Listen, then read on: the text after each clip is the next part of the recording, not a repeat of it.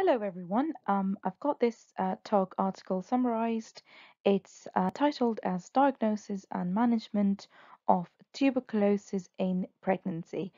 If you like this video, then don't forget to give it a thumbs up and also subscribe to my channel if you haven't already. So the rate of TB in the UK in 2008 was 14.1 per 100,000 population, while the rate in London was 44.3 per 100,000. In the UK, the national incidence of TB diagnosed in pregnancy was estimated at 4.2 per 100,000 maternities in, the, in, in 2005 and 2006.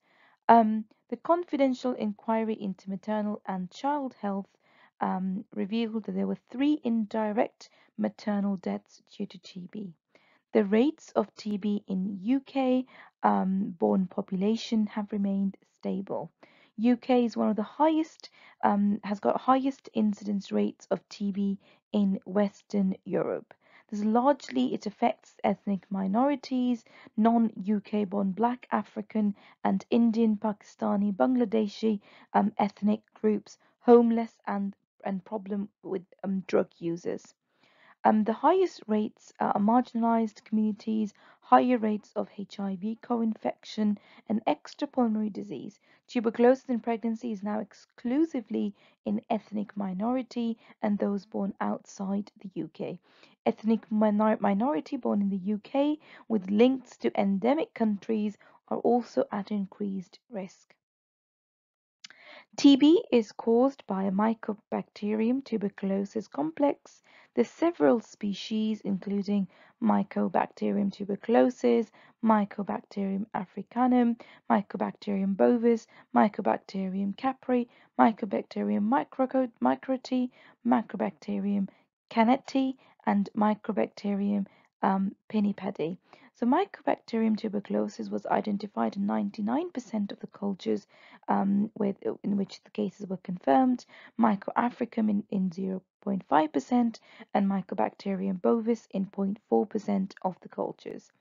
Information on species identification is collected by the UK Mycobacterial Surveillance Network and enable improved public health interventions. Clinical diagnosis is only possible in presence of active disease. However, one half to two thirds of pregnant patients with TB are asymptomatic, possibly due to latent infection. Constitutional symptoms like malaise, weight loss, loss of appetite, general and unusual tightness, um, persistent fever, night sweats come on gradually over a period of weeks or months. The UK data for extrapulmonary TB in pregnancy is as common as pulmonary disease. History of recent contact with person with TB or presence of any other risk factors should raise a suspicion of TB. So effects of TB on the pregnancy. So pulmonary TB increases uh, obstetric morbidity, preeclampsia or, or acute respiratory failure, and preterm labor extrapulmonary TB, so no direct effect on pregnancy, preeclampsia, or mode of delivery, but maternal morbidity in the form of recurrent admission rates and disability is increased, increased mortality in case of TB of central nervous system and other complications. The perinatal outcome depends on uh, depends TB is pulmonary or extrapulmonary, and also whether it is diagnosed late in pregnancy. In a study of Indian women with pulmonary disease um, treated for seven to nine months in pregnancy, perinatal mortality was six times higher than in the control group. The incidence of prematurity, small for gestation age, and low birth weight is doubled. The rate of adverse effects are higher when TB is diagnosed in the third trimester or the disease was in advanced stage or the woman was non-compliant with treatment. Substantial increase in neonatal mortality are mainly result of late diagnosis and treatment. So extrapulmonary disease, tuberculosis lymphadenitis does not appear to have any significant effect on perinatal outcome. Extrapulmonary uh, sites such as spine, abdomen, and CNS was associated with increased rates of fetal growth restriction and low APGAR scores. So congenital TB is rare um, infected infants present in second or third week of life with hepatosplenomegaly, respiratory distress, fever, low weight gain, irritability, and poor feeding. Cantwell's diagnostic criteria for congenital TB are presence of TB lesions in infant and one of the following um, one of the following so lesions in first week of life, a primary hepatic complex or um, caseating uh, granuloma, documented tuberculosis infection of the placenta or endometrium and or ex exclusion of the possibility of postnatal transmission by a thorough investigation of contacts. Aims of treatment is to achieve cure without relapse um, prevent progression of the disease or occurrence of complications, stop transmission to other individuals, healthcare professionals, or newborns, and prevent emergence of drug resistance.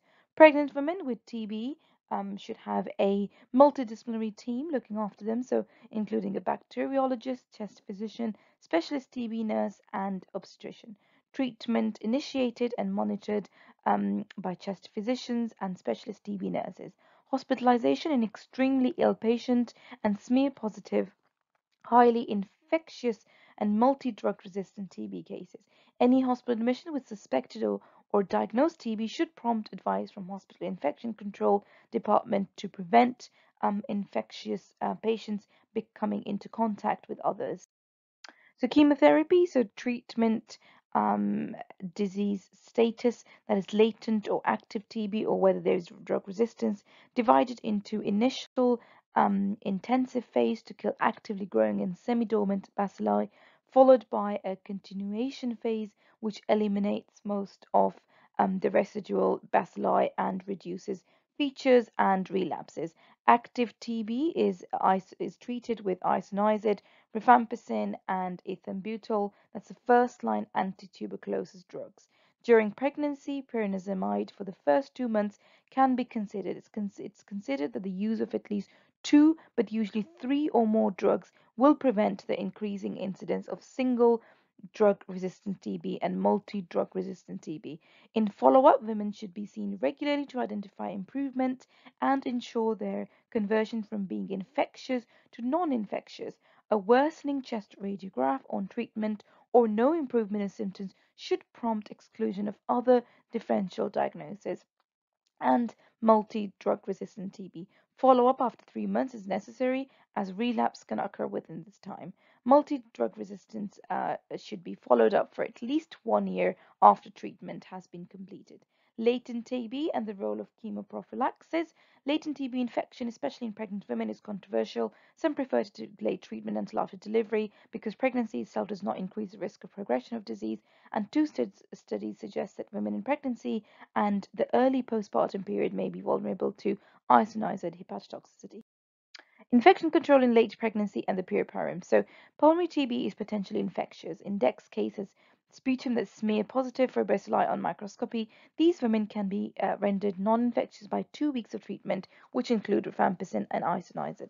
If admitted to hospital, the decision about isolation depends on the initial assessment of infectivity, the possibility of multi-drug resistance, and the immune status of the individual. Women with suspected or confirmed multi-drug resistant TB should be admitted to a negative pressure ventilation room. Control of infection in healthcare settings is responsibility of um, infection control team. When admit, admitted to the hospital, responsibility um, of care should be um, shared by the multidisciplinary team, and in no case should treatment be delayed because of infection control issues. Tuberculosis is a notifiable disease, and the clinician in charge of the patient is responsible for notification to the consultant in communicable disease control. If the woman is later found to be negative, they can be denotified. If TB is diagnosed postnatally, mother's, mother's sputum positive for acid uh, fast bacilli within two weeks following delivery, there's a potential risk of transmission of disease to the newborn. Infants with mother less than two weeks of treatment and sputum positive um, should have prophylactic isoniazid and pyridoxine um, and have a tuberculin test at 6 to 12 weeks. If negative, then BCG uh, vaccination can be given and chemoprophylaxis stopped. If tuberculin positive, then extended treatment for a total of six months. If for BCG vaccine is not recommended for babies of mothers who are HIV positive until they have been shown to be HIV negative. Contact tracing and screening close family members or other individuals who have had close contact and, is, and, and also by history and examination, tuberculin testing and chest x-ray. Contacts who are ill should be thoroughly investigated for TB. Adult contacts if the tuberculin test is positive and immunocompromised or HIV infection positive have not had a BCG, then chemoprophylaxis with isoniazid is given. In children with positive tuberculin test is, is suggestive of infection and treatment is given. A negative tuberculin test is, is repeated in six weeks and if still negative then BCG can be given. If it turns positive it suggests active infection and this needs treatment. So breastfeeding is the healthiest way to feed a baby. Antituberculous drug, drugs cross into the breast milk, but amounts are too small to produce toxicity. Isoniazid also um, take uh, with isoniazid also take pyridoxine supplementation. No reports of any adverse effects among infants of nursing mothers receiving anti-TB drugs. Breastfeeding mothers who are acutely ill with TB, breastfeeding may have to be interrupted and breast milk may need to be expressed to prevent mastitis. Role of BCG vaccine. So BCG vaccine is a live attenuated strain of the bacillus derived from the Mycobacterium bovis. No harmful effects on fetus from BCG during pregnancy, but live attenuated vaccines are avoided in pregnancy, particularly in the first trimester and delayed after um, delivery. Breastfeeding is not contraindication to BCG. Um, BCG is given to all neonates and infants living in an area with an annual TB incidence of 40 per 100,000 or with a parent or grandparent from a country where the incidence is 40 per 100,000 or family history of TB in previous five years. It's effective in preventing severe disease in infants and young children. BCG is not recommended for babies of mothers who are HIV positive until they have been shown to be HIV negative or if, if a member of the household has suspected or active TB. Multi-drug resistant TB in pregnancy incidence in the UK remains low but associated with high mortality rate in the general population. Management should be individualized. Multi-drug resistant TB develops if there is non-compliance with treatment initially. It must be treated uh, with a second line antituberculosis drug for a period of two years. So um, this is a take. So pulmonary TB symptoms, uh, it can be asymptomatic, persistent cough. Um, the most common symptom initially dry and non-productive, but may later become productive. Um, breathlessness, uh, a late feature, chest pain, um, localized V's, um, signs suggestive of pleural disease, pleural effusion, or lung collapse. Pathogenesis is latent infection. Um, so in for for you know for being asymptomatic, um, enlargement of the mediastinal nodes which press on the bronchus or inflammation of the of the airways it becomes productive with inflammatory exudates and or discharging granulomatous lesions. Um, so that's that's why they get cough. Breathlessness because of destruction of substantial lung tissue or significant pleural effusion. Chest pain because of pleuritic if peripheral granulomatous lesions are present. Uh, localized V's, collapse of distal lung um, caused by hilar lymph node or bronchial narrowing secondary to compression by lymph nodes. So extrapulmonary TB, um, so sites can be central nervous system, it can be lymph nodes, bones and joints, gastrointestinal system, or other sites like gen genitourinary system, skin, pericardital, TB, um, etc.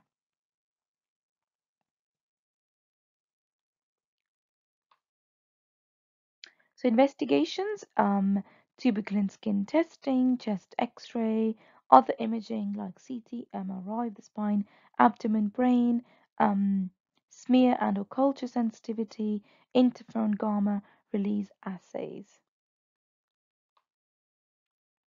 Risk factors for TB, close contact with infectious cases, living in tra or travel or receiving visitors from places where TB is still very common, um, living in ethnic minority communities, um, having an immune system weakened by HIV infection or other medical problems, being very young or elderly as their immune system are less robust, chronic uh, poor health and nutrition because of lifestyle problems such as um, homelessness, drug abuse, or alcoholism, being a, a, migrant worker or the family or their family living in poor or crowded uh, housing conditions, including living in hostels uh, tuberculosis treatment. So you've got standard uh, regime for active disease, isoniazid 300 milligrams once daily, plus rifampicin 600 milligrams once daily for six months, plus pyridoxine 10 milligrams daily to reduce the risk of isoniazid-induced neuropathy. Liver function tests should be performed at least monthly. Ethambutol is a first-line drug for the treatment of TB during pregnancy in combination with isoniazid and rifampicin. Pyrazinamide um, can be added for the first two months in those cases where resistance of the of the other first-line drugs is suspected or documented. Longer regimes, the same drugs but for 9 months in cases of bone TB and 12 months in cases of central nervous system TB. Multi-drug resistant organ organisms, so primary um, seen in uh, immigrants to UK and secondary develops due to non-compliance with initial treatment is also a problem with HIV infected patients with TB. Treatment with secondary second line drugs to which the um, sputum culture is sensitive should be used. Um, ethionamide and capri, and um, cycloserine and clarithromycin, azithromycin, ciprofloxacin, um, ofloxacin, um, kanamycin, and amikacin. Duration of therapy should be two years in HIV positive uh, women greater than 12 months after negative cultures. So drugs that are used for anti-tuberculosis drugs, so you've got your um, isoniazid, rifampicin, ethambutol, pyrazinamide, uh, streptomycin, and kanamycin. And it um, talks about the dosage, adverse effects, and effects on fetus. So this is a flow chart for management of TB in pregnancy. So um, if they have a Mantoux test negative, then and BCG scar is present and asymptomatic, no action required. If BC, if Mantoux test is negative um, but symptomatic uh, with a negative Mantoux test, um, then they should have investigations, uh, which which they should also have if they are Mantoux test positive. So investigations with chest X-ray, smear, culture, um, other imaging modalities, CT, MRI. If negative, then no action required. If positive, then initial treatment with three to four drugs.